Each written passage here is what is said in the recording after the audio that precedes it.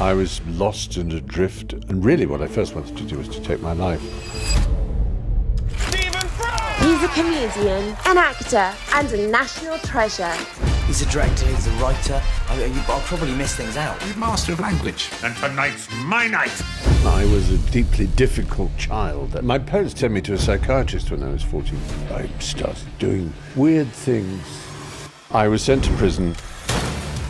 So the best I could do after a disastrous childhood, I decided, was now concentrate on getting into Cambridge. That changed everything. Ladies and gentlemen, Stephen Fry. I want to please people. And if I don't please them, I get upset. I've, I've done it wrong.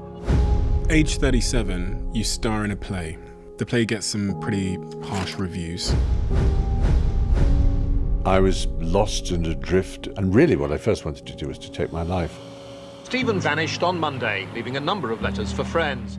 That started my journey into my mental health. When you were 55, it was your third suicide attempt. Afraid so, that's right. Can you take me back to that moment?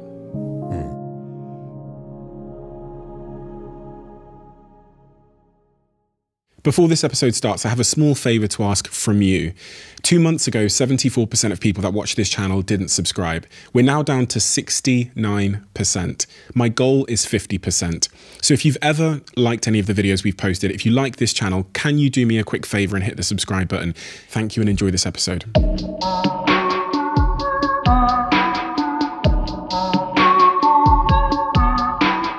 I'm I'm so fascinated by um, people's foundations, their earliest years, their context, because it seems so apparent that that ends up shaping who we are and who we become and our orientation in life. So, as I read through your story in your earliest years, it was it was an unthinkable roller coaster ride of twists and turns. But what do I need to know about about Stephen Fry's earliest years to understand the man that sat in front of me? Well, to use the language of the time, I was a disruptive, deeply difficult, screwed up child. That's kind of the language they used then. And I think to give myself some, I won't say credit, I would probably in later years have been diagnosed as having attention deficit hyperactivity disorder. I was extremely difficult to keep still and I found it hard to focus. I was, I'll say, um, vain as it may sound, I think. Um, intellectually advanced for my age. I was very quick with language and with speech, um, and just seeing things and remembering things in particular. So I never had to revise. And so, in that sense, I had a lot of spare time.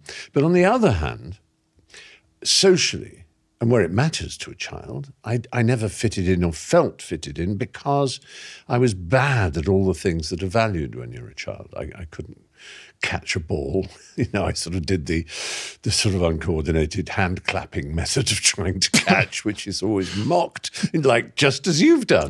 and the cry of unco would follow me, short for uncoordinated and worse, the kind of words we certainly don't use now to describe a, shall we say, a dyspraxic um, figure in terms of you know physicality. I was just, you know, I, I was growing too fast, too tall, and very thin. Hard to imagine now. Uh, and I wasn't musically very gifted, particularly. Uh, uh, and I couldn't draw. So all I had was my passion for language, and, and I loved it, and I played with it, and I told stories, and I tried to make myself less unpopular, put it that way, by, by it was a boarding school. I, I was sent away at the age of seven in Britain, which is not a huge country, it's about as far as you can be from home there. My parents were in Norfolk on the east coast, and I was sent to Gloucestershire on the west um, uh, to a, a prep school from the age of, as I say, seven, which to some people sounds a bit cruel and weird to send a seven year old boy 200 miles from home and just have them there.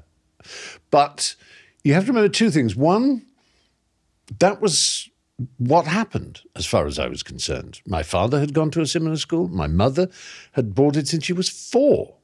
Um, uh, but that was because she was a Jewish refugee in, in, in England and her father wanted to hide her away from the impending Nazi invasion. And so that, that, that was a particular reason.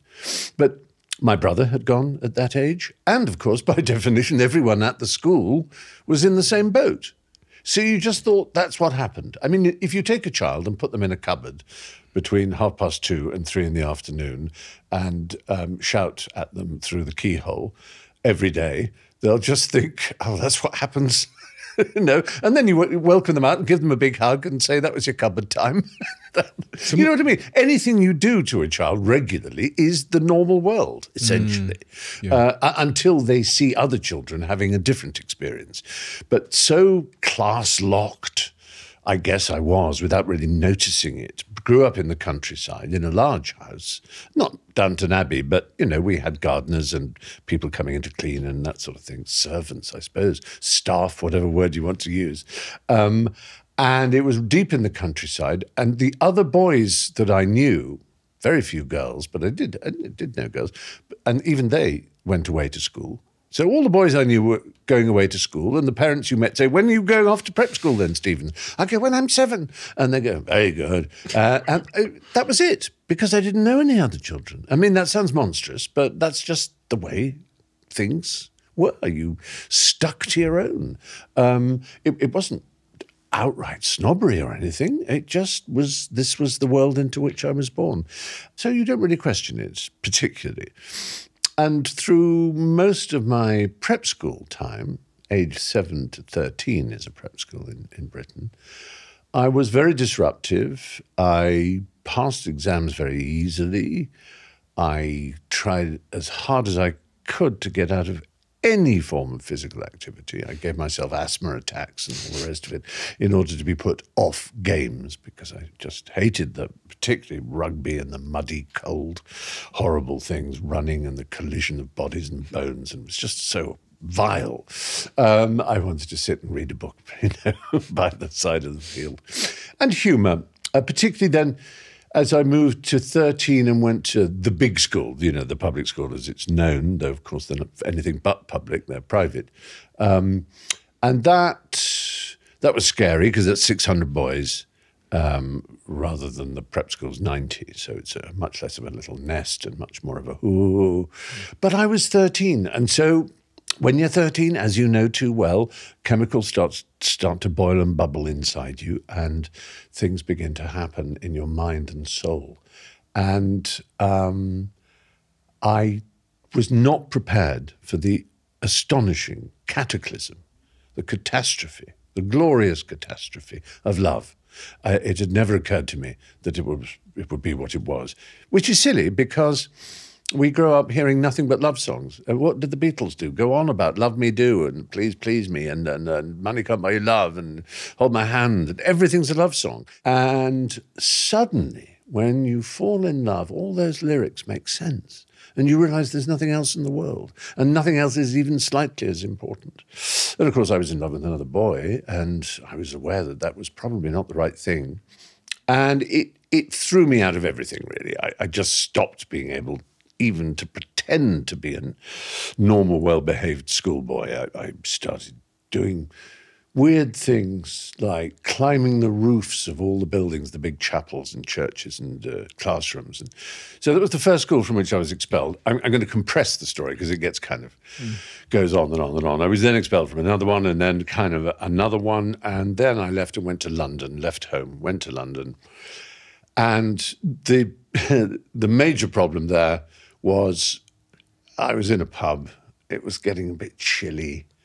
I saw a coat, liked the look of it, half inched it, stole it, and left the pub. And then discovered there was a wallet in it.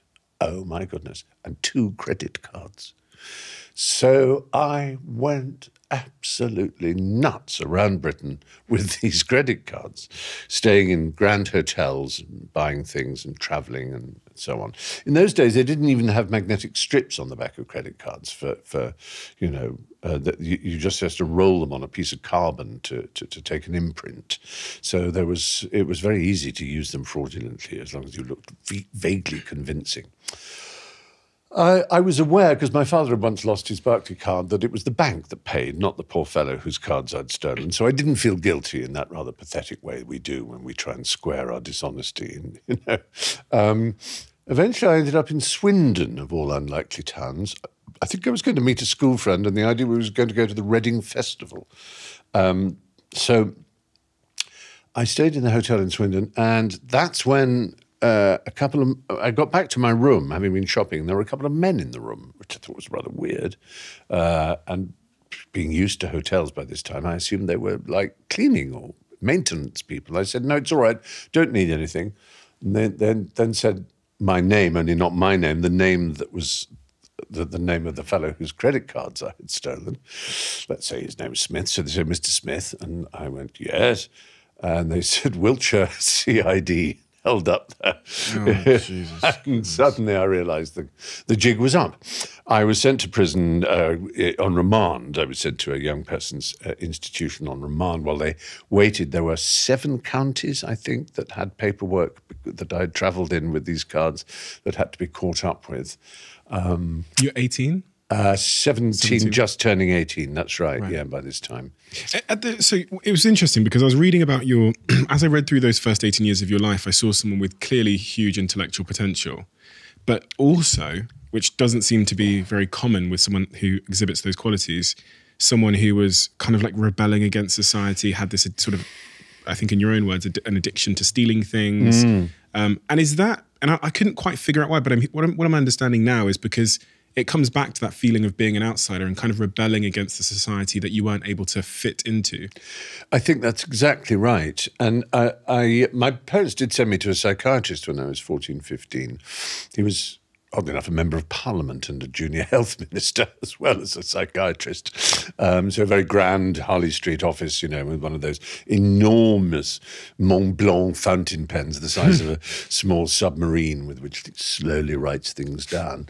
And uh, he was slightly annoyed my parents weren't uh, in the diplomatic service because apparently the way I behaved and the, and the things I did were very typical of people from unsettled families. Ah, yeah. Um, and, you know, with sort of constantly moving and, and so on.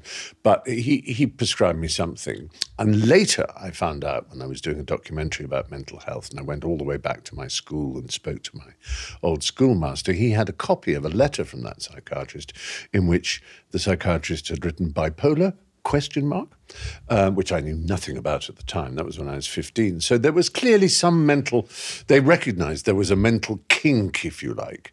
Uh, a hundred years earlier it would have been called a moral kink basically. They're just saying he's a, he's a bad lot you know. But uh, we were on our way to being more understanding about children's behavior behavior. But yeah, it's that whole mixture. My love of literature and stories and wanting to be involved in the in the world of ideas desperately to learn more and to understand more and to share ideas. Um, uh, a cheap wish watching Parkinson every Saturday night to be famous, but not sure how how that could happen. It seemed absurd. And a deep, deep, like a like hot lead leaking in the stomach whenever I contemplated my sexuality, this feeling.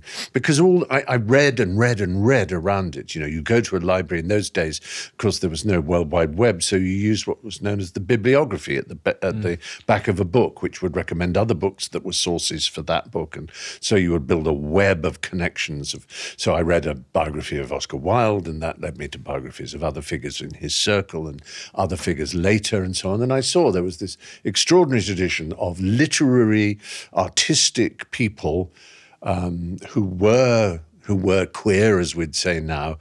And of course, the ones I was reading about were, were, were born in mostly into an elite part of the society that allowed them to go and live in North Africa or Italy or Greece or somewhere where it wasn't quite so dark and you know oppressive.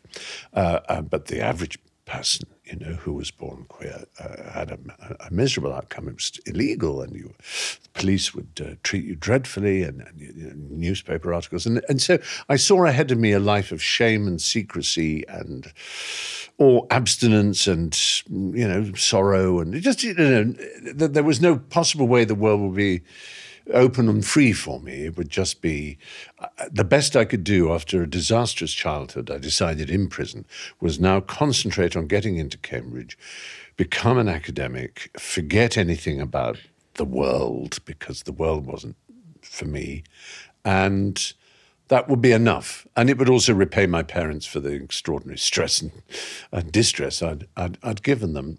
And so I, uh, when I was put on probation, finally at the end of the prison thing, having served quite a bit in remand, I was just put on two years probation. Went home, told my parents I would look after myself entirely. Got jobs, got myself a moped, went into Norwich, did a course, and amazingly got a scholarship to Cambridge after a year.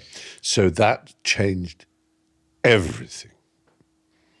It is the most remarkable turn I think that I've ever I've ever seen in someone's life. I think I've never seen someone who has a series of sort of criminal um, engagements, gets expelled from school multiple times. I read at 17 there was, there was a suicide attempt after you, an argument with your father, right. which led you to be in hospital as well. That's right. You end up in jail, and then from jail, you go to Cambridge. it doesn't seem like the I- it doesn't seem normal. And while I was at Cambridge for the first year, I was on probation still. Jesus. I remember saying to to, to one of my uh, tutors or supervisors, I, I said, "Oh, look at the date." I said, uh, "I'm no longer on probation." And he said, You weren't on probation, thinking I meant some sort of academic probation, you know, hmm. that I hadn't done good enough essays and that I was being given a warning that I better work harder. He said, You're not on probation. I said, Well, actually, I am. I told him. He said, What the hell? Get out. why didn't you tell us? I said, Well, why didn't you ask me? they, never, they never asked. So, so, but it is extraordinary how everything turned because, you know, in the first kind of week, I met Emma Thompson, who was an undergraduate uh, reading the same subject, English, and I then saw her in a play, and I was just knocked out. I couldn't believe it. I had considered maybe I should do some acting at Cambridge. I started doing that and really enjoyed it, but did lots of other plays as well. And I wrote a play called Latin. It was a, a, a comedy and that went to Edinburgh, and it won a prize. And and Emma um, came to see it and brought someone along to watch it that she thought um, might enjoy it. And I didn't remember this experience, but that person was Hugh Laurie, and he apparently came and watched the play and, and said hello briefly. Then, at the end of my second year, I was approached by Emma, who said, I'm going to come round and introduce you to Hugh. There you have met him. And I said, No, I haven't. And she said, Yes, you have. Um, anyway, she took me over to his college and knocked on the door, and the door opened. He was sitting on the bed with a guitar in his lap, and he said, Hello. And I said hello. And his girlfriend was there making a cup of tea. And he said, I'm just writing a song. And he started to play a bit of the verse of the song. And I said, Oh, it's fabulous. And I sat down next to him. We started to work on, on the lyrics of it. And I added some ideas. And then we you know, built it up into three or four verses and the choruses. And the song was finished. And then he picked up a piece of paper and we started to write a sketch. And Emma and Katie were just staring at us and said, hmm. What's happened? We didn't, you know, we barely didn't ask each other our names. We just immediately just fitted. I'm sliding my fingers into each other there to give uh, an example. Um, it, it was I, I describe it as like falling in love, but in a, a platonic comedy love. Um, we just seemed to gel straight away. It was most extraordinary. So from that moment on, we started writing stuff together um, for our show. And I thinking that either I was going to stay at Cambridge to be an academic, or maybe I was going to go to a drama school afterwards and join the Royal Shakespeare Society and hold spears and um, bellow speeches. Uh, and now there was this strange possibility of using comedy as a as a, a, a way of going forward, and maybe not staying at Cambridge at all, but trying to you know tread the boards in an amusing way. Why acting? I, I sit. I sat here with Maisie Williams, who's the the young Game of Thrones actress. Indeed, I know who you Yeah. mean. Yeah. Yeah, and I, I find you know, and then I read this book called um, "The Body Holds the Score," and it talks about six ways that we can help our mental health and things like yoga and all these kinds of things. But one of them is acting. And it talks about the role that, act- you know, this kind of separation from identity and how that can be liberating and wonderful. And when I when I heard you describe your first acting experiences, you use words like blissful and amazing, and, and as if you'd found your place in the world. It's true. I mean, it is also it is the acknowledgement, the the love or the sense of attention you get from an audience that you're. Uh, it's not. I mean, of course, it's a kind of vanity, but it's not that you want to be praised exactly. It's just you want to experience that moment and keep experiencing it. It's not. Uh, oh, look, you must write marvelous things about me, or come up after the show and tell me I'm a genius. That's all embarrassing. What, what- but but the moment you're on stage and you feel that people are looking at you and not admiring you, Stephen, but that they are, you have won them over. They are following the story of the character you are and they are sucked up into it and you've made it. It's a wonderful feeling. But something even more primal than that, because I can remember when I was very young, five maybe, and my brother was seven, going to a pantomime in Norfolk. And the usual thing happened. Buttons comes out and goes, Hello, boys and girls. Who'd like to come up on stage with me now and sing a song? My brother dived under the seat and made noises like a piece of dust so that no one would notice him. Like most children, he was damned if he was going to get up and make an exhibition of himself in public. But I stood on my tiptoes with my arm up so high that I nearly split the membranes of my underarm, you know, going, me, me, me, me.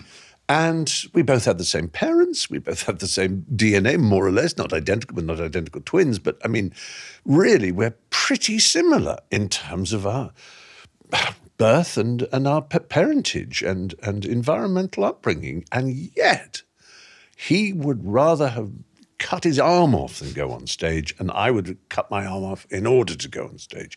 And that's just something that was built in.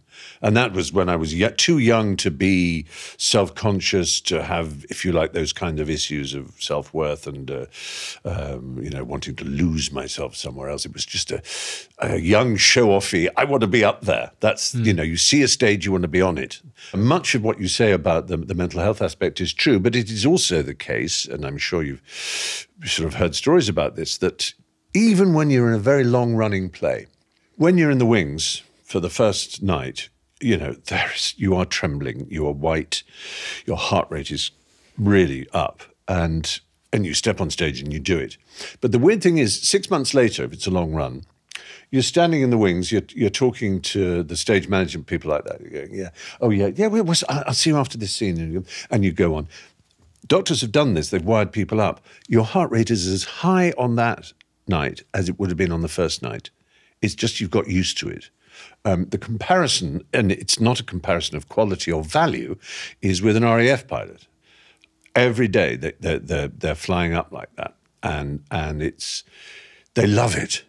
They just made for it. I mean, it's frightening, and they hate to see their companions killed and and um, and so on. But the awful thing is when it stops.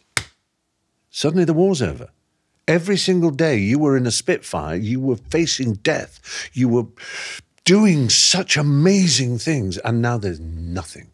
And similarly, you're in a long play. Of course, it's nothing like being in the Air Force. It's of no importance to anybody except other people. But nonetheless, it does cause the similar kind of shakes in your body and the hmm. excitement. And then that's the end of the run. Stop.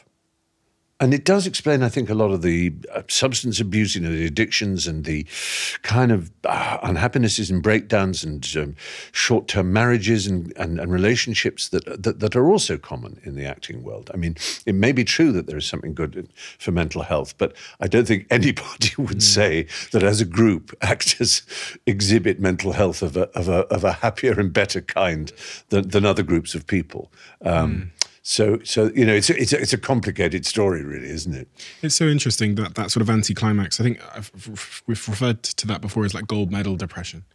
We we tend to set ourselves goals of oh, if, if only I could live in that kind of a village in you know in the south of England, like a quite near a station and nice little house, but not too expensive, and yeah, and then you get it, and so yeah, you live in the suburbs, hooray! Um, oh, oh, maybe that car, that that new one there, that Tesla or whatever, I'll get a, then I'll be happy. You don't literally say, then I'll be happy, but there's a kind of sense of that's all I really want. And each of these goals is met, and it isn't it. As the, there's the line of T.S. Eliot, that's not it. That's not it at all. And, and we go through life thinking, that's not it. That's not it at all. There is something in all of us, a whole, a need for connection and love and truth and, and a sense of something beautiful beyond. And we can, if you're religious, you call it heaven, and if you're a, humanist, you you you know you call it a full and achieved life um, of of friendship and you know elements of sacrifice and so on. But you know, you know that there's a hope for it. But but if you if you mislabel it and think that it's connected with money or cars or mortgages or jobs or status, you're never happy because of your status, because of things you've achieved. You, happiness comes from somewhere else. And of course, I've yet to meet anyone who can tell you where it comes from regularly, where it can be tapped like some resource. Ah, that's where you get your happiness. We know there's fake happiness from a so a blow of a drug or something like that, and that couldn't be a more fake happiness. Um, and there's the happiness of sitting around a table with friends. That's beautiful, fleeting moments with friends and family where it's all working and people aren't shouting at each other and you can just look at each other. I, I, I was at a memorial service and, uh, for, for, a very dear friend, the composer Leslie Bricusse, you know, who wrote Feeling Good and uh, Pure Imagination for Willy Wonka and uh, Goldfinger and a, lot of great songs. He was an amazing songwriter. And uh, and I remembered I had this diary entry when I was just getting to know him, When they, there was a party. I think it was his birthday, and it was full of people, some of whom super famous and extraordinary people. But he, I remember just catching sight of him and thinking he looked so like a Persian cat, just looking from one friend to another with this huge smile on his face, just being happy to have his friends around him. It's a simple thing, and yet it's the best thing. And and we chase we chase things that give us less time to see our friends.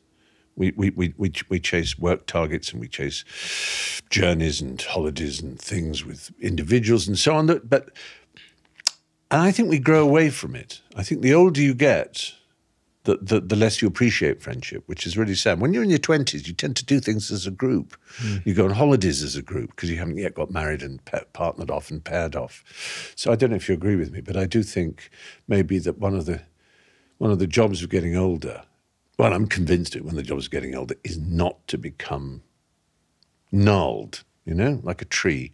When a tree is young, you can bend it. It's you know a green stick, as they call it. You can bend it and shape it hmm. and so on. But once it gets old, you know, and it starts getting that bark, and if you tried to bend it, it would snap.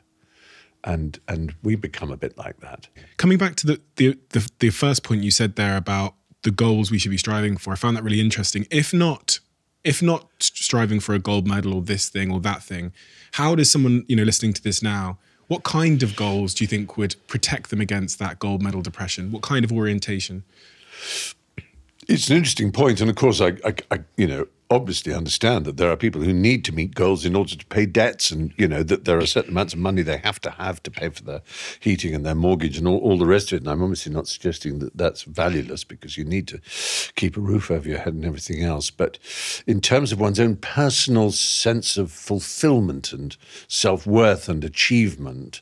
Um, I'm more and more convinced that it comes from how you treat people and how they treat you back, and how you how you would try to be a better person. I know it sounds really silly. I'm not a religious figure at all, um, but but I'm very interested in religions, um, and I can understand that in some cases religions help cement a sense of community. I, I, where I don't like it is where it's exclusive, of course, where you have to buy into a certain set of ideas and uh, so, called truths in order to be part of that community. But I can understand how looking at a wider sense of, of life, and it's really about when you're falling asleep at night, and this may just be me. Can I fall asleep at night and feel I've been a, a reasonably okay person that day? Is this someone I have to apologize to next morning? Did I was I short and sharp with someone? Was I a bit mean? Was I lazy? Did I did I lie and because I wanted my own way there? Um, and, and it's not suggesting I'm a saint and I always manage it to, but I do have a very loud voice in my head. Philosophers call it a deontic or deontological voice, this sense of obligation that is a peculiarity, it seems, of our species. As far as we know, the image I always use because they look so cheerful, an Amazonian tree frog perched on a branch with its big grin isn't thinking, oh God, I was a terrible Amazonian tree frog yesterday. I really let myself down. I was mean. I was unkind. I must try to be a better Amazonian tree frog. What we admire about animals is they spend 100% of every day being themselves. And we as humans are fully aware that we don't. We are not fully ourselves. We lie, we hide behind, we pretend, we fail, and we judge ourselves. Now, that peculiarity of humanity has tried, people have tried to explain it in different ways. Obviously, the Genesis myth is that it, it- we ate a fruit. It gave us the knowledge of good and evil and the sense of shame of our physical selves, all, all, all those things that separate us from animals. Because humans, since we were cognitively conscious, have been aware that we're animals because we can see that we defecate and eat and sleep and mate just like other animals, and sometimes very quite close to the other animals, if we, depending what part of the world we live. But we can also see that we have these other things that animals don't. Who gave them to us? Where did they come from? What do they mean? And how do we live up to them? Are they a curse or a blessing? Do they make us mini gods? Or do they make us the playthings of gods, a cruel kind of, you know, little as flies to wanton boys to the gods are we?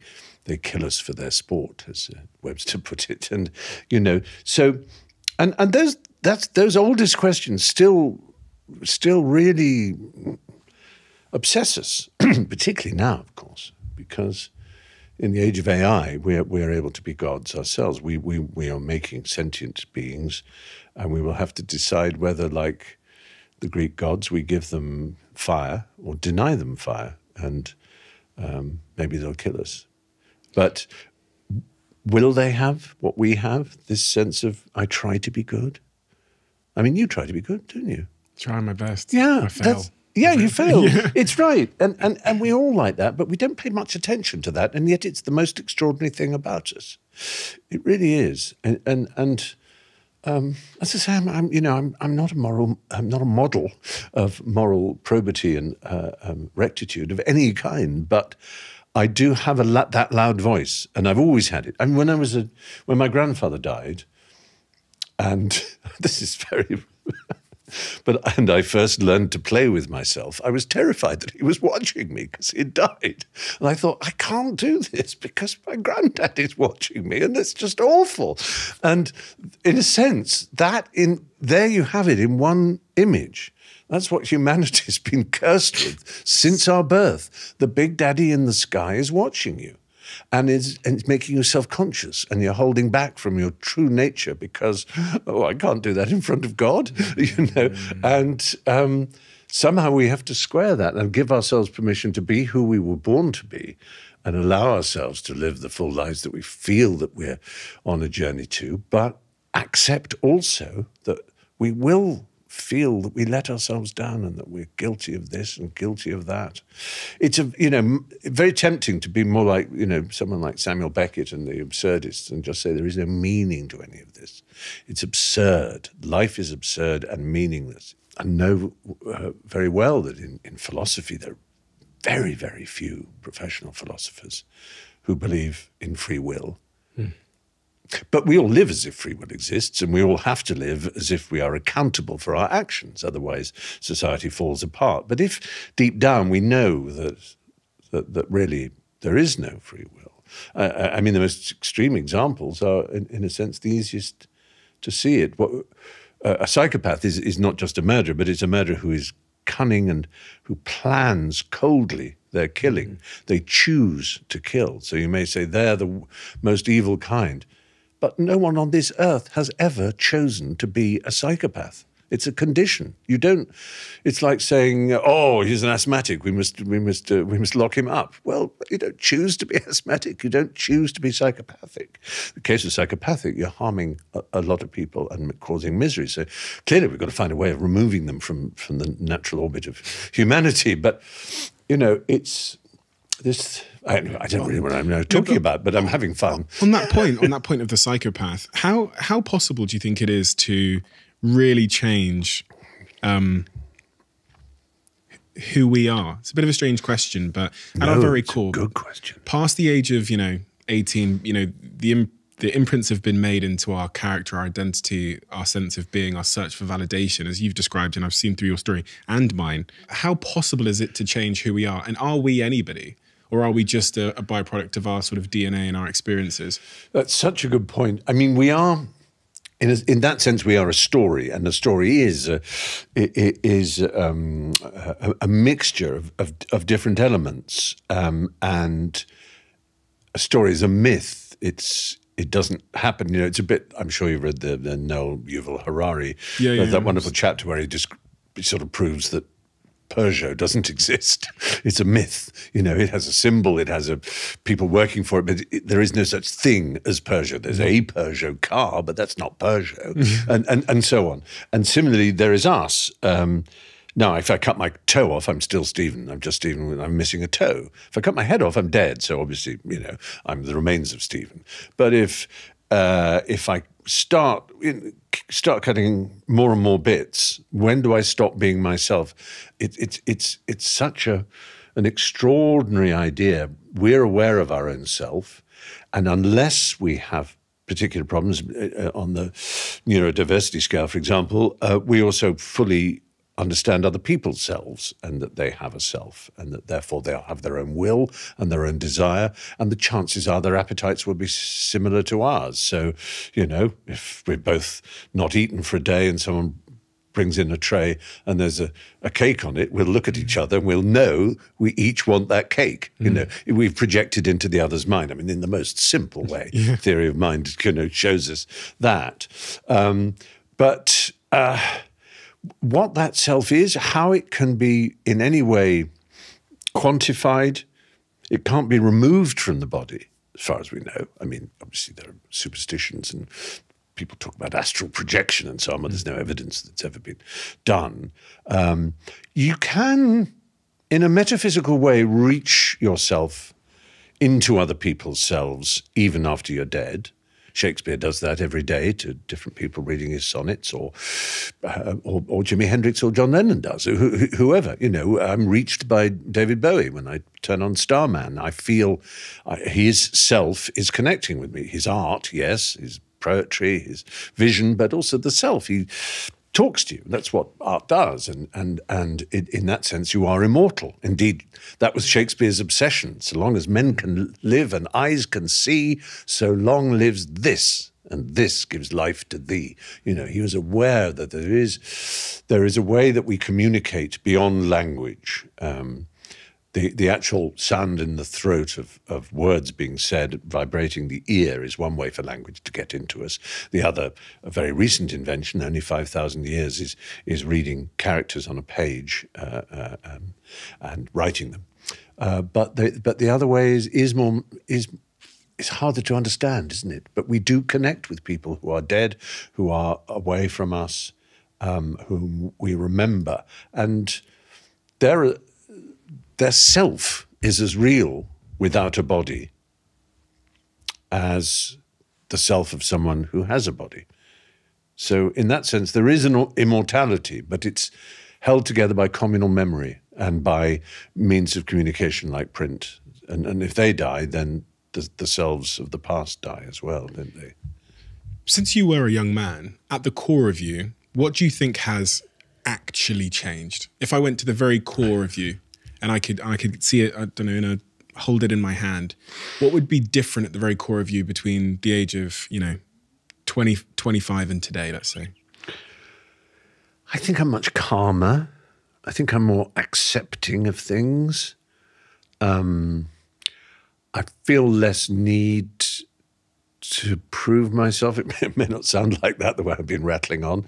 Um, I, I of course have found um, a kind of permanent love. I, I kind of that's very ungracious, but I got married nearly eight years ago, um, and that that's changed things to, be married, especially talking about that child early on who knew he was gay and, and saw ahead of him only a life of exile and shame.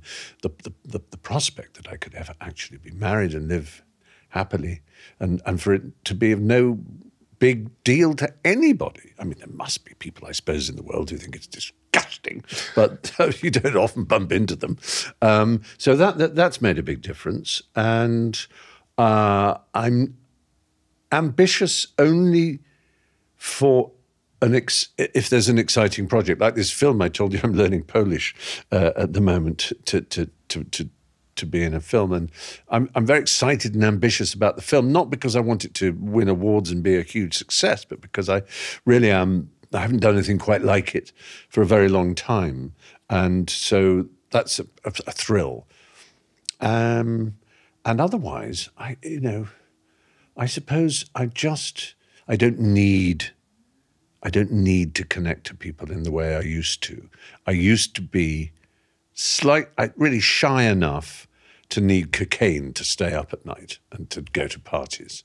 There was, you know, quite a few years of that. 15 years. 15 years of that. You've done far too much research, damn Cocaine, you. yeah. But yeah, and, and I mean, I look back at it and I think, I, I cannot believe I was such an ass. But on the other hand, there are friendships I made that I don't necessarily regret and things I discovered and learned about myself and so on. But m- mostly, of course, it was a very, very wrong course. Fortunately, not a fatally wrong course, either in literal terms or in terms of career. But um, I realized that I am a very, very quiet domestic soul. I don't like going out. I don't like parties. I, I, I, I said, I said to my husband a couple of years ago, I said, I don't think I've ever met a person or read about a person that I hate as much as I hate parties. he said, that's, that's a bit strong. Do you hate parties more than you hate Hitler? I said, well, close. that was just a sort of weird moment. And I, I do go to parties, but I don't standing up talking to people with a drink in my hand is just my idea of agony. Because I tell you another secret, which you may have uncovered, but it's an embarrassing one, is that I have a condition called prosopagnosia. It means face blindness. It means I will see you in the street two days' time and I will blank you because I won't recognize you, I'm, I'm afraid. And, and it's absolutely heart and gut wrenching because you are convinced that people think you're looking down at them and you don't care about them. You haven't bothered to re- remember them mm. because they're unimportant to you. And it really isn't that. I remember names all the time. Most people the other way around. They I'm the other way round. Yeah, I remember faces but yeah, not names. But I, and it, it is, I have a little card in my wallet that says, you know, Prosopagnosia Society, and I give it to people. I say, oh God, I'm so sorry, but look, believe me. Um, you know, like, so I did an event for Mind last night, and there were some wonderful people in it. I was moderating it, the, the, the mental health charity. And I, I was thinking in the cab on the way home, I said, if I see any one of those people, we had this wonderful conversation, the chances of my recognizing their faces are so low. It's awful. And and you know, you teach yourself various things like the color of what someone's wearing on a particular day, or if they have a you know you know earring or some sort of jewelry or something external to the face. But it's a it's a a very odd one. So that makes parties even more difficult.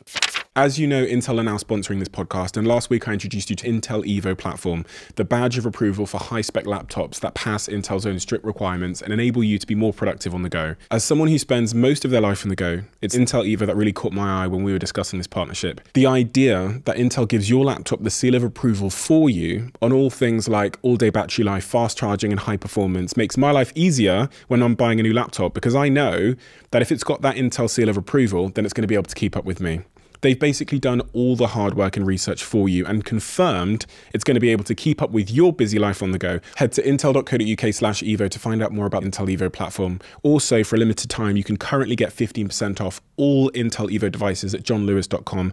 The code is EVOCEO15. That's E EVOCEO15 until December 11th. So head over to johnlewis.com to check out the Intel Evo designs and get your 15% off. Terms and conditions apply. See more details in the description box. Age 37, you star in a play, which again called Cellmates, I believe. That's right. Um, the play gets some pretty harsh reviews.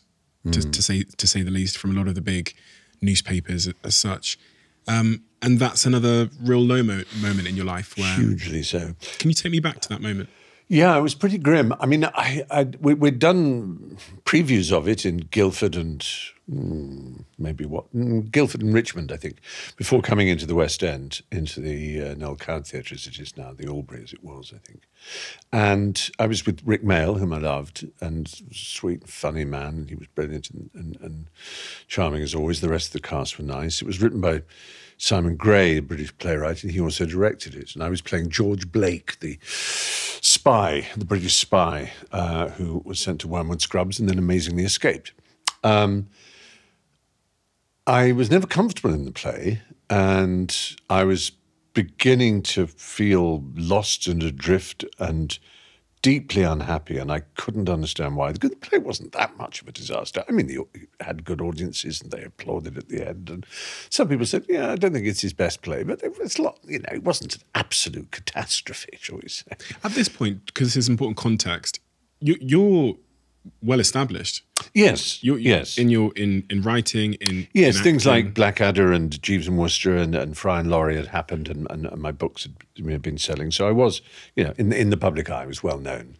Um, and anyway, one Saturday, there was a Saturday night. Uh, I guess the press night had been on Friday or something like that. So we then had a Saturday night. And then on Sunday, there were the Sunday papers, of which I saw some, and some of which were deeply unkind to me. And, uh, and that that did make a difference. I mean, I, I've said I didn't go just because I didn't like the reviews. It, it wasn't wasn't entirely that. That would have been a bit weak, uh, uh, and and certainly was a weak thing to have done anyway. But uh, it was a whole concatenation of something wrong in my head. I just suddenly saw myself as in the wrong place, doing the wrong things, and I wanted to get away from everything I knew. Um, and really, what I first wanted to do was to take my life. And I, I did run the car engine in the lock-up garage of, of, of the flat where I was in London, and then realised it was a catalytic converter and that it wasn't really going to do much harm to me. And then there was stuff of it, and I was just coughing a bit, and um, uh, and and That's quite a significant decision to make following. I know. I know. I just wanted out, really. That's it. I just, wherever I was, I wanted to be somewhere else. And, and if it was nowhere, that would be, that would be, a, at first, that was the most perfect place to be. I just didn't see the, as anybody listening who's had the misfortune and the terror of considering taking their life, suicidal ideation, as it's known in the trade, as it, they will probably concur with me that there comes a moment where you just start saying to yourself, "What's the point?" It's a strange phrase because you know you could say, anyone could say it at any point, but there's some moments when when you say it, it seems so truthful that there is simply no point in anything around oneself, and that's how it seems. Uh, anyway, so I got in the car and drove to the south coast to Dover, I think it was, or no, Folkestone, and got on a a, a ferry to Zeebrugge in, in Belgium, and then ended up in Bruges, in Bruges, like uh, like Colin Farrell, and Brendan, and um, I uh, then wandered a little further east into Holland, and then into Germany and Hanover and Hamburg. And you didn't tell anybody you were. You were No, going. No. And this was 93 or so. There was no World Wide Web as such. It was just beginning to happen. Tim Berners-Lee in Switzerland was beginning to develop the, the, the World Wide Web. But there were these things, these, these things called commercial online servers like CompuServe and America mm-hmm. Online, rather than direct kind of internet connections. And I had been connected to those for, for some time, and I'd taken my computer with me, I guess. So I was in a hotel in Hamburg, and then I got a message from my friend Hugh, who said, "Old fellow, you must come home. um, be in touch at least." And so I kind of sent him an email on this CompuServe thing, and I agreed that the it was nonsense. I had this in my head this idea that I would go up from Hamburg and Hanover up Schleswig-Holstein, which is the border with Denmark and go up into Denmark. And somehow in the north of Denmark, I would sit on a rock in a thick white pullover with a pipe clenched between my teeth, writing impossible poetry and teaching English to, to, to Danes and be forgotten, you know, and just live the rest of my life there. Total fantasy. Um, but no, Hugh, Hugh said, come on, it's fine. Come home. We really want to see you. Everyone wants to. Uh, and so I, I drove back overnight to to Amsterdam, and my father had, had got a flight to Schiphol, and we, we met in a hotel in in, in Schiphol, and um, then got a flight, little little aeroplane back to to Southend. And What did you say to your father that day in Amsterdam when you met him? I said, "You you you've spent your life getting me out of terrible and embarrassing holes, and this is probably the worst of them." And he said, "No, it isn't. It's fine. It's all okay." And he was just wonderful. I watched a news report of your um, absence. Really. Yeah, I watched it upstairs before we had this conversation of the, I think it was maybe BBC News or one of the big stations that reporting that. You had, uh, you you were basically missing. Yeah. a big picture of you on the screen and saying that you had, you know, the way that they'd framed it obviously is they said you did this play. They showed some of the headlines, some of the reviews, and they said he's Stephen Fry's vanished. Oh my god. Um, and everyone was very Of course, I never saw any of that. I did see a photograph someone sent me years later of police on the roof of my house in Norfolk, which was slightly disturbing, looking for uh, signs of me and obviously feeling the worst.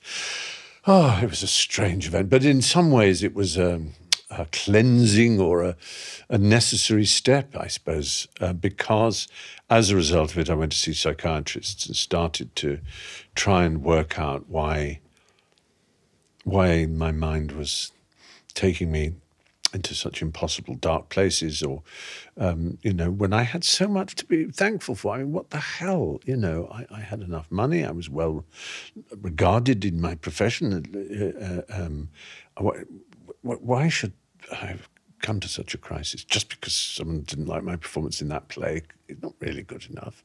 Um, and, and i'm not that hypersensitive.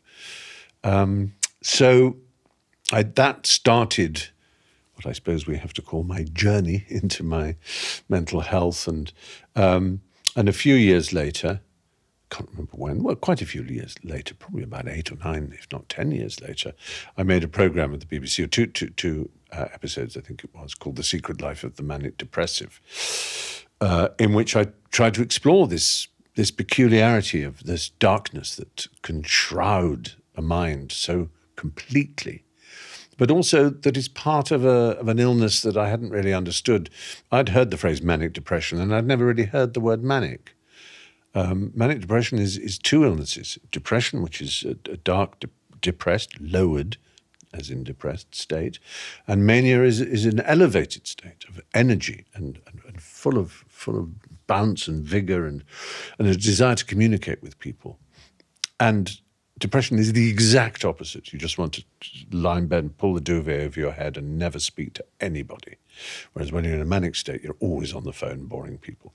So there are two poles, and hence it's also known bipolar. There's the, the, the one pole of, of, of mania, hypermania, and the other pole of a, of a depressed state.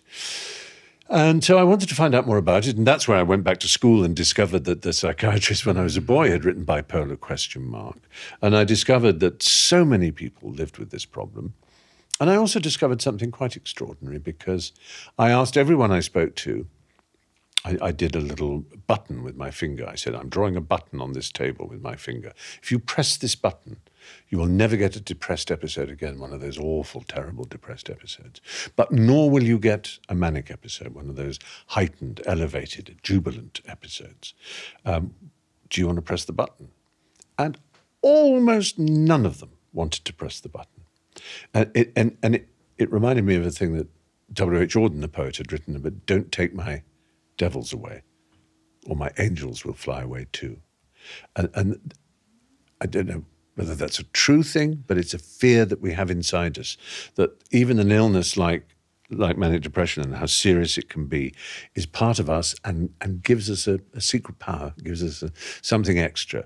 Um, it's dangerous because because it is um, highly the word doctors use is morbidity. In, in other words, you know, pe- people, especially if it's undiagnosed, if you start finding that you're crashing in moods and becoming miserable, and, and, and everyone's finding you a pain in the ass, or you're absolutely wild and full of crazy plans and you know buying things you know going on shopping sprees or being sexually exhibitionist or inappropriate. And but people find that even more annoying. Um, and if you don't know that it's actually an illness then you just mask it with alcohol and, and, and uh, narcotics of one kind or another. And they mask it pretty successfully, but they have their own problems, to say the least. And people can then slide down, and uh, leave their families. Their families can no longer tolerate their, their substance abuse, for example, and they, they, they end up on the streets. And then there's a lot of discovery for them to know that they first have to get off the substances that, that, that have been masking the problem and then to face the problem. And, and it's a really, as we know now, a huge endemic problem, it seems, in, in, in our culture and country. Amongst young people, it's expressed with a rash of self harm that is, is just so, so upsetting to see children uh, uh, uh, hurting themselves. And, and, and if you ask them why they do it, it's, it's always the same answer it's, it's to, dis, to, to displace the other pain inside them. It's because the pain in there is worse. So you do that to take away from it. And that, for a child, is, is just heartbreaking to imagine. Post diagnosis mm. of um, manic, manic depression, what were you advised to do and what did you do to make life better with the understanding now and the awareness that you had this condition? Well, firstly, I went on a sort of uh, exploratory journey of of medication. Um, a psychiatrist tried me on a number of things, um, sodium valproate, which has since become somewhat a, somewhat of a disgraced pharmaceutical, particularly when when it's been given to people with um, various forms of epilepsy, um, and then lithium. And I was on lithium for for quite a number of years, and and then slowly I became aware of some of the kind of folk wisdom that has been around in our species for a very long time, but which was initially very irritating. I'll give you an example. Um, there are certain kinds of people who, if they hear someone's depressed, say, well, go, go and walk it off. You know, just go for a nice walk. And you think, hang on, this is an illness. Just saying go and walk it off. And yet, once you've confronted it and once you've tried to control it, once you've understood what it is, uh, a, a, chronic condition, i.e., a bit like asthma or, or, or, diabetes, something that's with you and that may not go away and may come back again and isn't necessarily under your control, you then do discover that there are therapies in life like exercise, gardening, making music, knitting I mean, it doesn't almost matter what it is. It is, like, as I say, a folk wisdom of taking yourself out of yourself and also believing in a future. It's incredibly important. The first thing I did, I think, that was a breakthrough for me was that I lost some weight. I mean, I'm always fighting weight, but I was really pretty, pretty big back then, and I managed to lose about four stone. Now, it's not that losing four stone is in itself a vast achievement, but it tells me that I can control some part of myself, my physical body, is not is not a rogue that will look just do whatever it wants to do. I can say no. I'm going to make you a bit sleeker. And if I can do that with my body, maybe I can do things with my mind. Maybe I am, you know, captain of my soul, master of my destiny, and all, all of that. So Yes, I started walking every morning. Uh, you know, when I was in London, go around Regent's Park and listen to audiobooks, uh, just choose all kinds of books that either I hadn't read for years or I'd always meant to read, you know, whether it was Dostoevsky or Agatha Christie. It wasn't about uh, high literature necessarily. It was about just having a story in my head and walking and walking and looking and saying, wow, I did seven miles this morning. That's amazing. You mm. feel you're doing something. So it's really been a slow process of allowing myself, I suppose, to, to, to be who I am and not to fight for my place at the table. I, I suppose I've accepted that um, through immense good fortune, I am where I am. I don't need to say yes to everything that I'm asked to do. I don't owe it to the, you know, to, to myself to, to have to work all the time.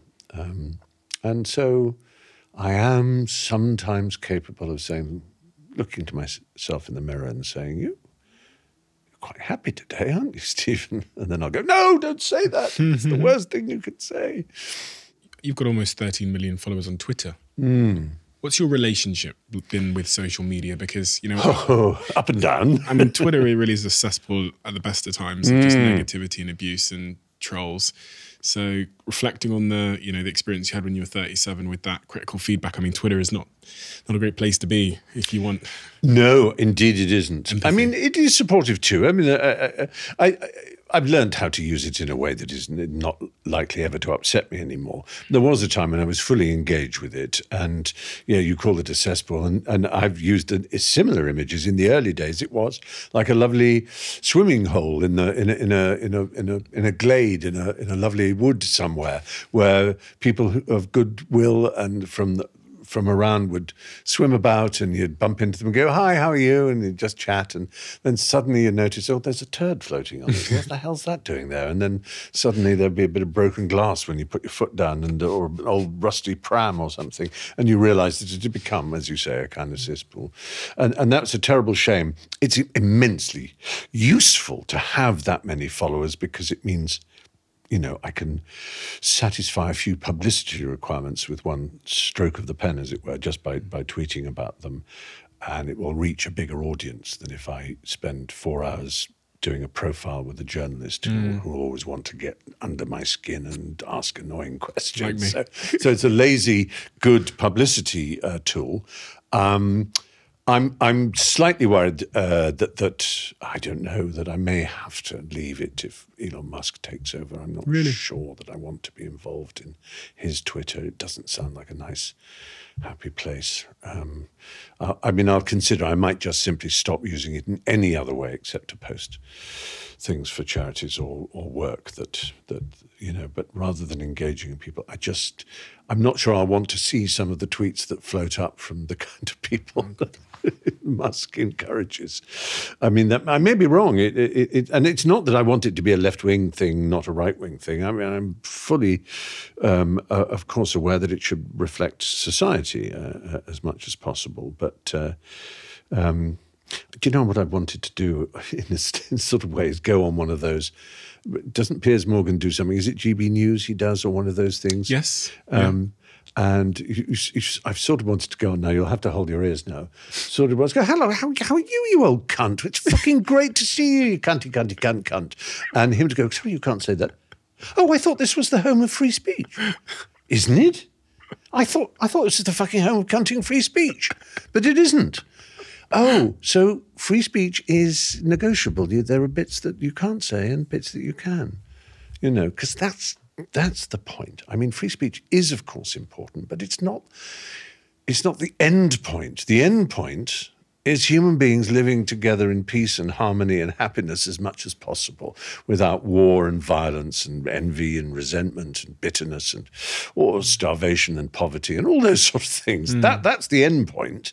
Hmm. And it's probable that that end point is better arrived at if we live in a society where you're free to speak and share ideas and think freely and you're not told what to say. So, in that sense, free speech is very much one of the key things on the way to it. But for some people, key speech has become the end point. I want to live in a society where I can say anything. It doesn't matter if people are starving and the gap between rich and poor is wider than it's ever been. Uh, the only thing that matters is I can say what I want. Well, that's that. I just don't think that's what John Stuart Mill and all the original figures who wrote on liberty and free speech. I don't think that's quite what they meant, and I don't think it's what I see as the the you know the be all and end all.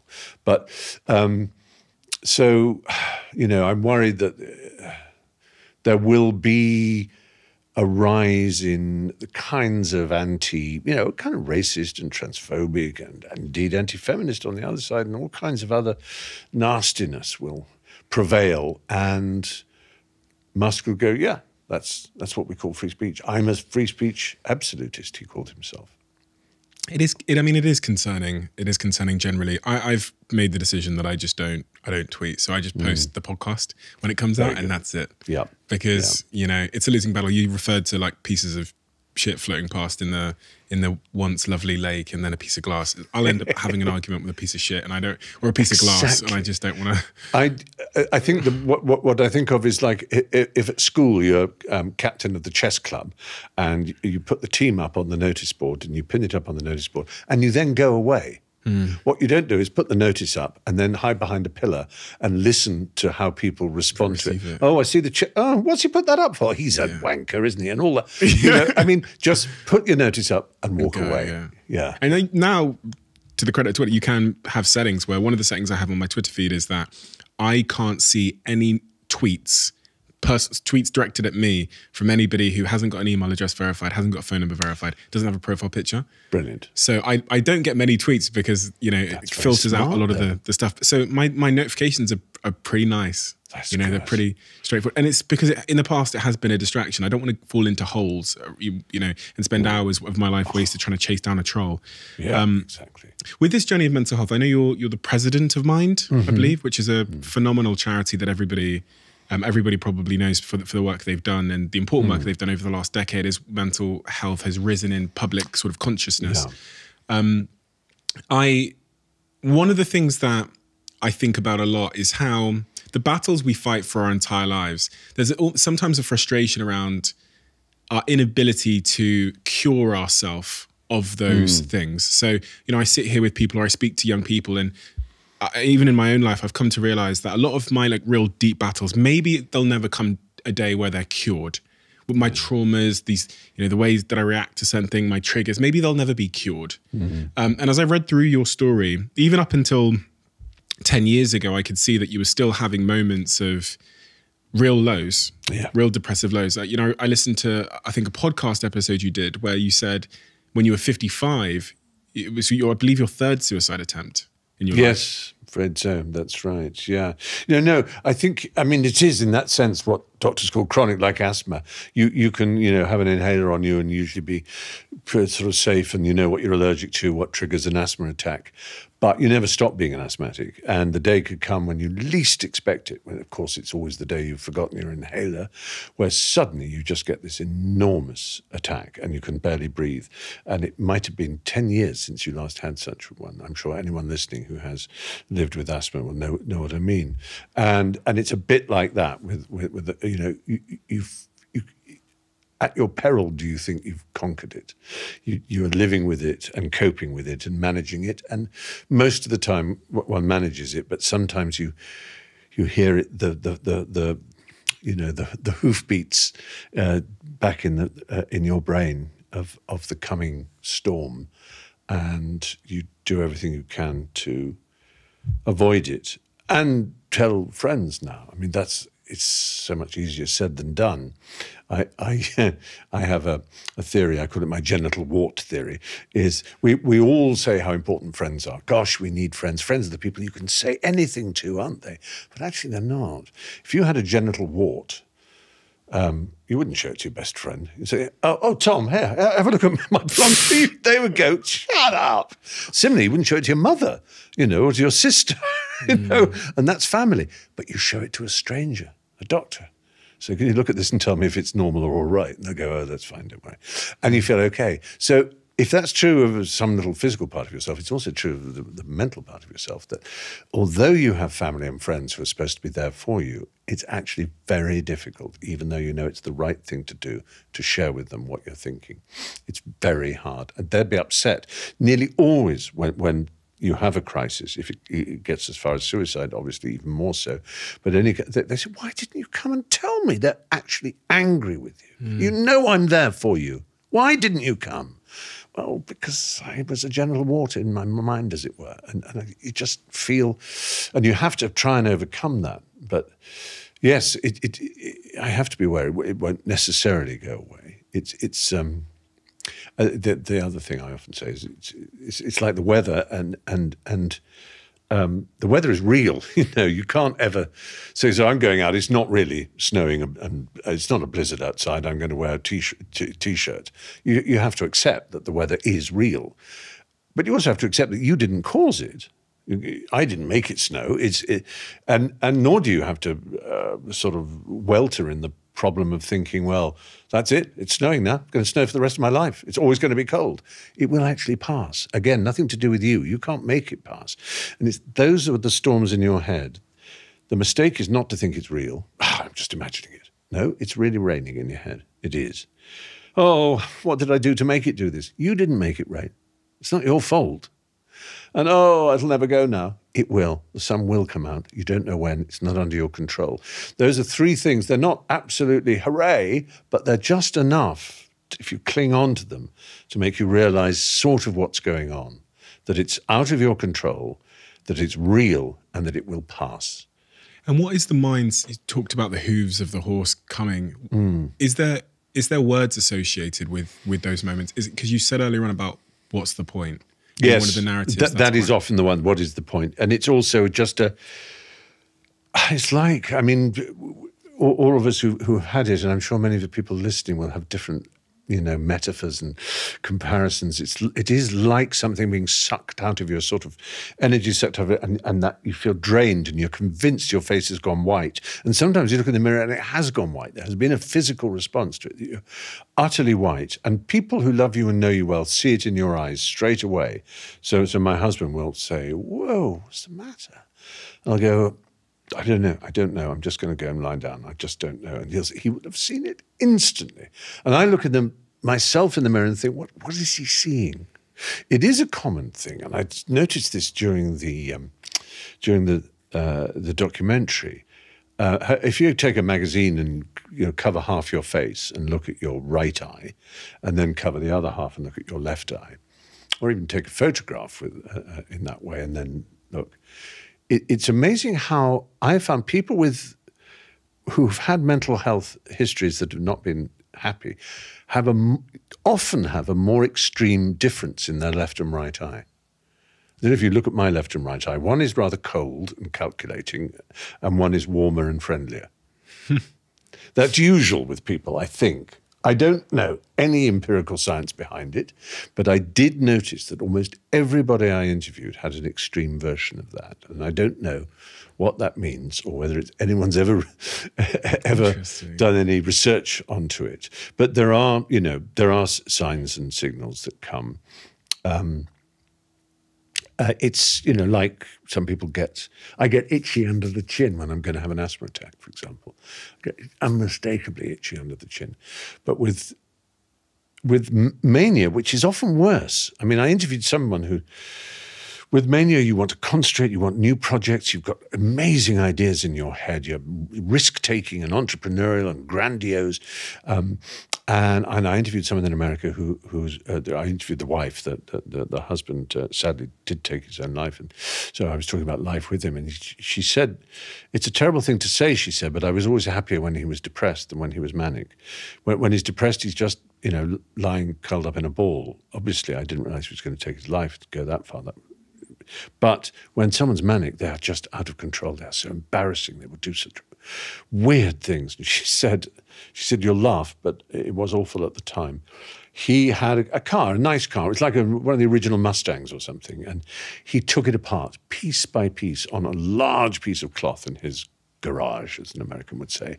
And each piece, he, you know, he, the pencil or a marker, he did a little mark for where that piece goes and he wrote what the name of the piece was. So the whole thing, and he started chroming all the bright work and making it all perfect, and the, all the engine parts were out. And then he had a change of state. Uh, and it moved away from this optimistic, bright mania. And he just kicked the cloth and all the pieces, and everything just piled into a heap of junk, and the car couldn't be rescued. And there's a sort of metaphor for something there. I don't know what it is, but mm. she said that you know that that that's the problem. But when I've had mania, I had a, a manic episode right in the middle of someone's memorial. It was quite extraordinary, and and it frightened me because the power of it was so intense. And I, I, I, I ran home and I called my doctor, my psychiatrist, Billy. I said, Billy, I'm, I have to tell you, I've had visions and I feel the closest I can describe it to is like Joan of Arc. I feel irradiated by some extraordinary power and light. It's the most extraordinary thing. And I, I just don't know what I'm going to do. He said, I'm coming round. he came round and he said, This is a very dangerous day. He could see me. And I had. I had done, I'd started cooking and I'd started um, tidying. I'd, I'd done three different jobs, and the cooking thing I'd done a plate with quail's eggs halved, um, so elegantly around the edge of the plate. It was so beautiful. Everything was amazing. I said, I, I don't know why you've come, Billy. I have never been happier and more in charge of myself. He said, No, you are not well. You are really not well. I can see you. He said, Your eyes are absolutely kind of off the scale, and I want you just to take this. And he gave me some. Uh, what was it called? Um, it'll, it'll come to me. It, it, it, and it sort of calms you down. It's an antipsychotic, essentially, I suppose, or an anxiolytic or something like that. That was that was one of the more extreme manic moments I'd had, and and actually was pretty frightening because it took me a long time to get down from it. And and I am the last person in the world to say that they feel like Joan of Arc, you know, like someone who has had some extraordinary, transcendent, you know, religious experience. Um, but that's that's how I felt. You've you've accomplished so many unbelievable things in your career, in spite of all of these struggles that, that we've talked about. Um, the list is actually too long for me to to even. I d- wouldn't know where to start. Um, as I look down onto this little iPad in front of me at all of the milestones, the the books, the the roles you've played, the, the scripts you've written, etc. Why, why and how? Why and how you? You know, it, and it's, it's always a difficult question because it, it requires us to abandon humility for a second potentially and and say something nice about oneself. But why why you? I think the first reason, and it would be the same if you spoke to a certain kind of musician, is because I write. And, and I have always written. Since I was a little boy, I used to write stories. And when I then was at Cambridge and there was this thing of comedy, it was natural, as with Hugh and on my own, to write monologues and sketches, to perform. And because I'd written them, I sort of wrote them for myself to perform. But the writing was at the bottom of it all. Um, and then acting jobs on their own came along, which I didn't write or other people wrote, or I could just sort of add bits of writing to. But I was always a writer. And if you look at musicians, you know, the reason we venerate Bowie and Elton John and you know Leonard Cohen, whoever it is, they write their music. Doesn't matter how fantastic their voices are. Yes, we love Nat King Cole or someone who is just a beautiful voice, but the pantheon of great artists are those who create their own work by they write it. They write the songs. They last forever if you write the song paul mccartney or whatever you know. I mean you, you just think even something like when you see that postcode lottery and that who's that knocking at my door? And you think that's paul mccartney when he wrote that. Cannot have been mm. thinking. But he wrote he, and every day he writes to this day because it's that's what he is that somehow that's the voice in him telling him that's what real work is is the writing and the creating. And i love acting and i love presenting and um, reading audiobooks and and things like that. Immense fun. But the real work is always sitting in front of the blinking cursor and and and, and writing things, um, and everything else is is gravy and fantastic gravy at that. Not because it's easier, um, and and you know I'm not sort of saying uh, acting is easier. It's just for some reason in my head, you know, the Protestant work ethic, the Jewish work ethic, call it what you like, is the one that says you know, sitting alone, concentrating until bubbles of blood fall come out of your ears. That's work. Acting, as Shakespeare called it, is play. He was a playwright and he called actors players. Do you think we're all artists? This is a really good question. And I always used to say no. I, I, I was very friendly in the heyday, well, I still am, uh, uh, with, for example, Damien Hirst. In, in, in the 90s, I was very much an habitué of the Groucho Club and, uh, and, and, and, you know, the Tracey Emins and the, um, and the Damien Hirst would come in al- along with the Oases and the Blurs and, the, and so on. It was very much the, the, the place where those incredibly energetic and, and new kinds of artists were, were, would assemble. And, you know, I'd get drunk with uh, Damien a lot. And I would sometimes say, I want to be an artist. And he'd say, You are an artist. Anybody can be an artist. I said, No, they can't. He said, What do you mean? I said, and I would say, I'm an, I'm an entertainer. I'm frankly a bit bourgeois. I, I want to please people. And if I don't please them, I get upset. I, I've done it wrong. For, for me, the aim is to see delight in the face Uh, but, but for you, it's to make something that matters to you. And if it disgusts people or horrifies them, you can, you're often full of glee. Uh, it's not you deliberately make them to hate it. Uh, there are enough people who love it to make you extremely rich. At the time, he was only slightly rich, but now, of course, he's worth a huge amount. Uh, and I said, that's what a real artist is. And my other artist friends, not, not all from that same generation, Maggie Hambling was a wonderful painter uh, uh, in Suffolk, and she's done my portrait several times or whatever. And she's a real artist. She, there's a toughness about her, a refusal to compromise, an absolute what's central is her and her work, and that's true of artists. Artists are bloody minded; they bite the hand that feeds them. I'm pretty easygoing. Uh, if a you know a commissioner wants me to do something, I'll ask him how, how he'd like it done. I'll try and put my my own voice into it, my own tone into it, but I don't have the artistic drive to make it something out of me. There's a fantastic confidence and supreme almost contempt for society that artists have. Um, and that's why they're so unpopular with the Daily Mails and the bourgeois people, because they don't please. They don't provide what is comfortable or easy and what people would like or pretty or, uh, you know, it's always, oh, doesn't, it's disgusting, throwing a pot of paint into the public's face. That was said 150 years ago. Um, you know, it's always been thus. And artists are special. I think. Um, I mean, I like makers or, or, craftsmen, artisans, you know, that, that who, who make beautiful things, whether it's shoes or uh, you know Tom Daley knitting a nice pullover, whatever it might be, is is a beautiful thing to see. But art is, to me at least, and it may be a, a part of the kind of education I've had and that has privileged art above all things. But art is special to me, and it has a special place and does special things. Um, it, it, usually very simple and and that's the that's the genius of an artist. We die. We, the flesh, this case we have, dies and rots, and we know this, and mostly we don't particularly like to be reminded of it. Artists find it the most fascinating thing in the world. So even if it's Van Gogh with showing the petals falling off the sunflower, there's death in there. And as for Francis Bacon and indeed uh, uh, Damien Hirst and, and, and, and almost all painters, they paint death they paint the truth about what we are becoming. And painting is sometimes the last bastion against death. I'm going to make something permanent because everything else dies. That's, uh, again, to, that's Shakespeare's sonnets, you know.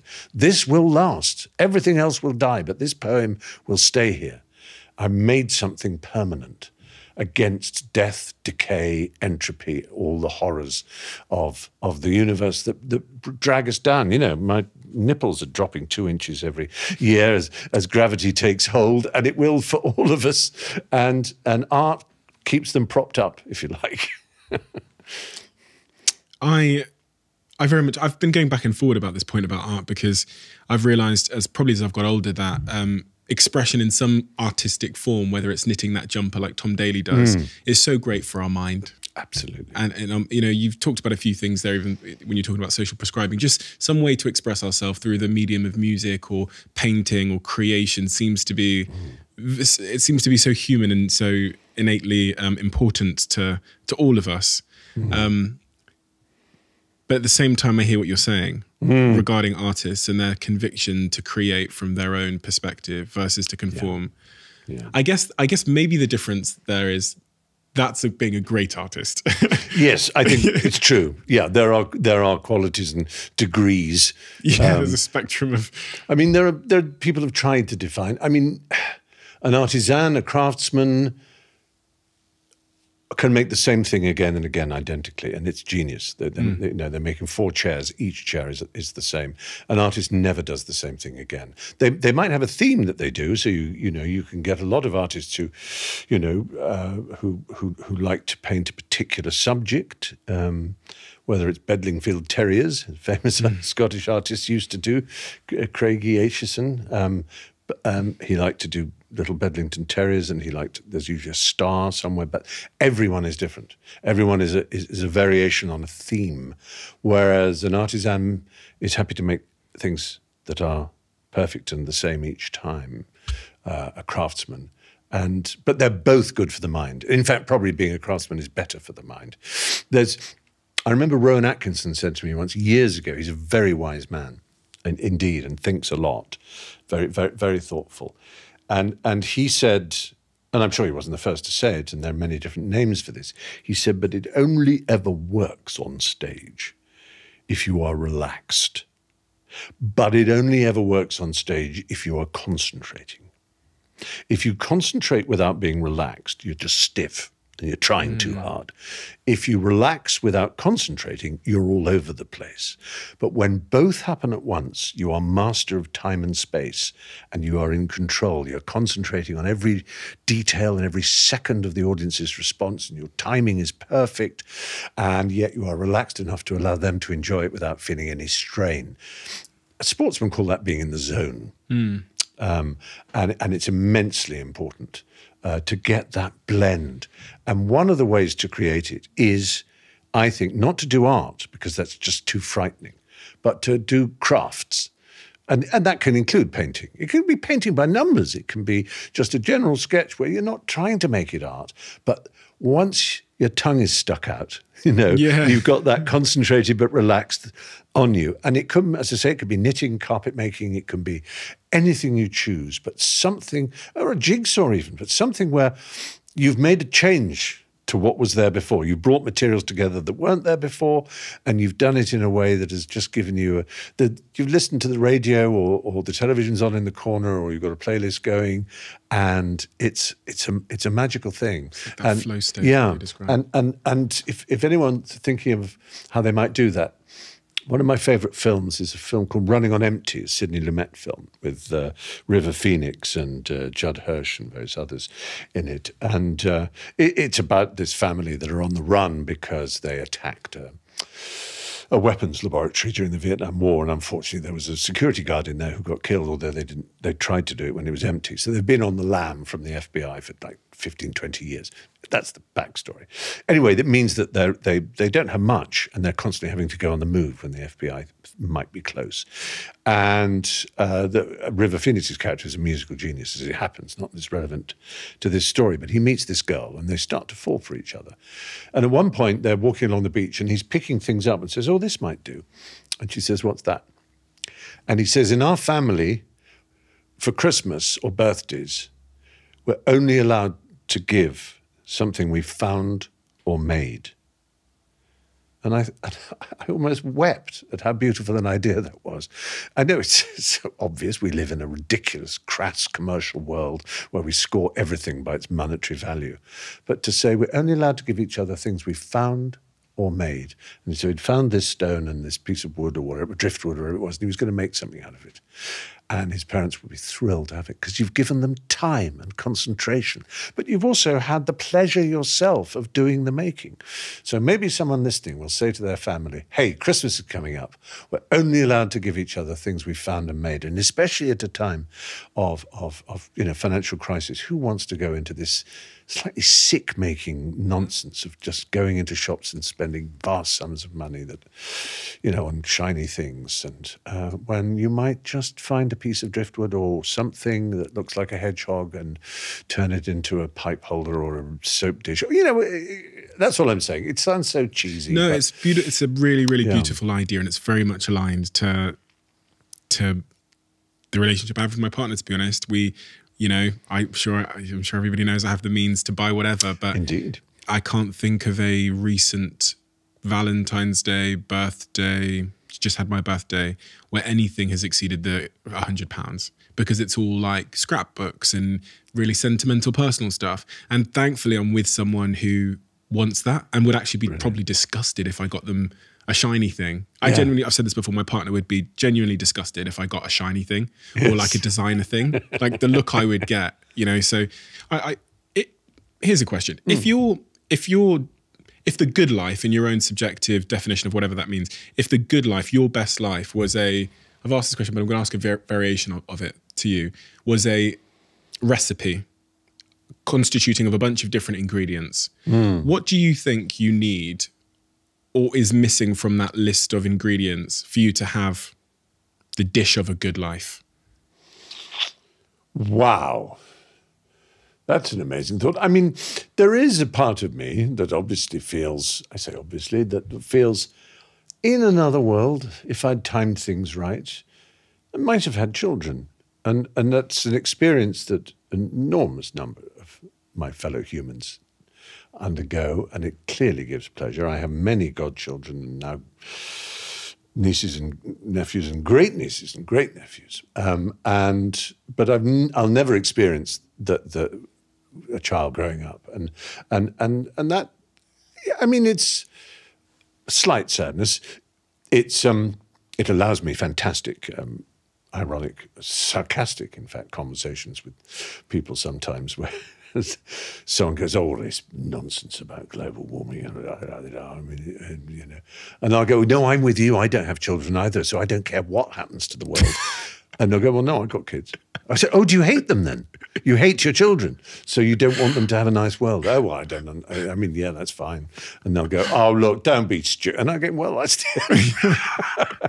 That's very silly, silly of me, but but it do- um, yeah. I mean, that's probably the biggest hole in my in my, life experience. I've been fortunate enough to have done so many things and to experience so much and met so many people I've been thrilled to meet and had opportunities that, that are just uh, unbelievable, really.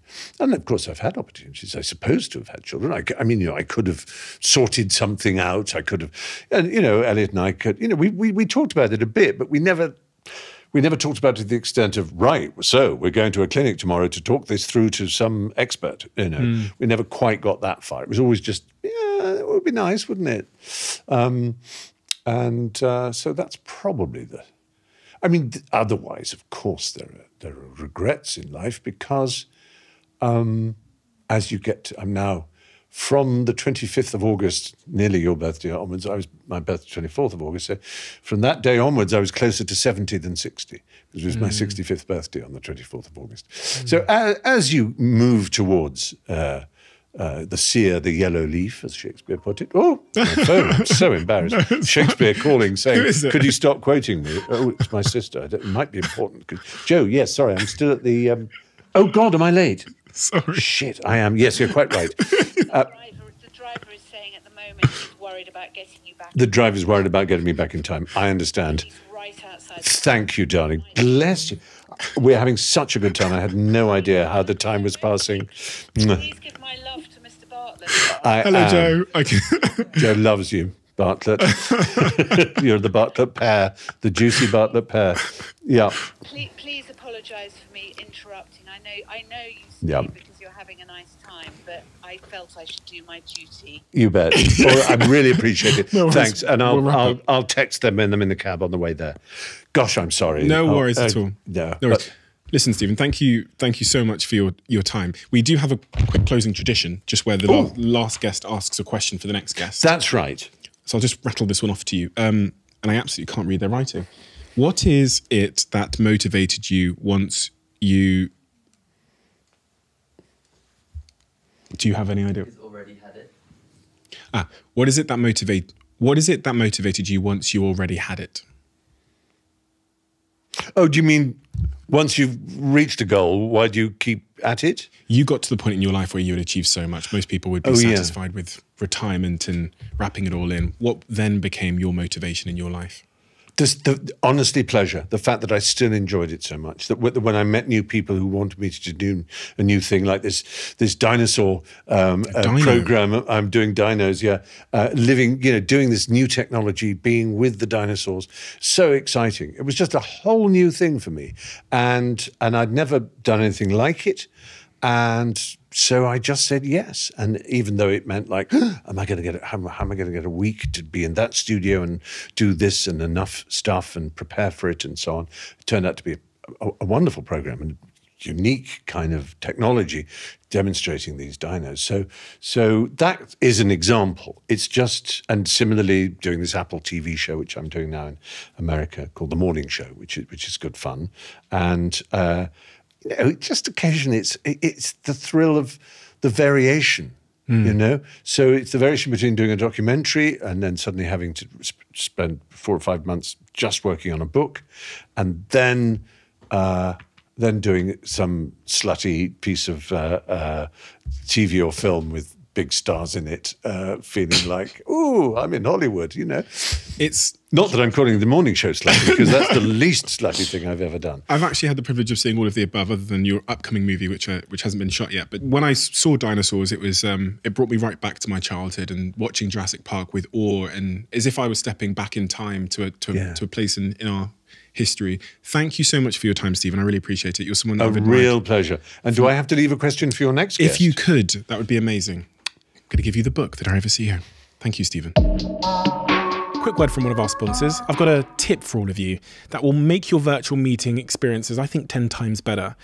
As some of you may know by now, BlueJeans by Verizon offers seamless, high quality video conferencing. But the reason why I use BlueJeans versus other video conferencing tools is because of immersion.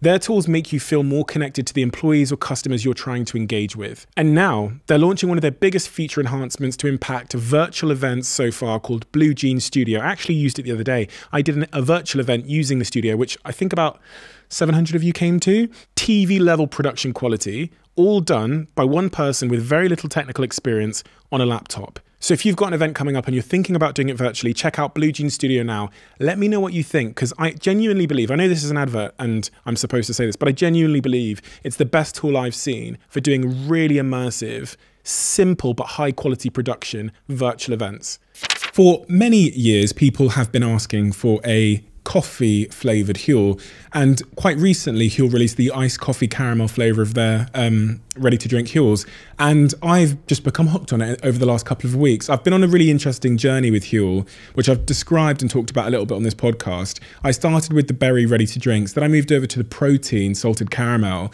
because it's 100 calories and it gives you all of your essential vitamins and minerals, but also gives you the 20 odd grams of protein you need. And now I'm balanced between them both. I drink mostly the banana flavor ready to drink. I've got really into the iced coffee caramel um, flavor of, of Huel's ready to drink. And now I'm drinking that as well as the protein. Make sure you try the new ready to drink flavors. The, the caramel flavor is amazing. The um, new banana flavor as well is amazing. And obviously, as I said, the iced coffee caramel flavor has been a real smash hit. So check it out. Let me know what you think on social media. I see all of your tags and Instagram posts and tweets about Huel.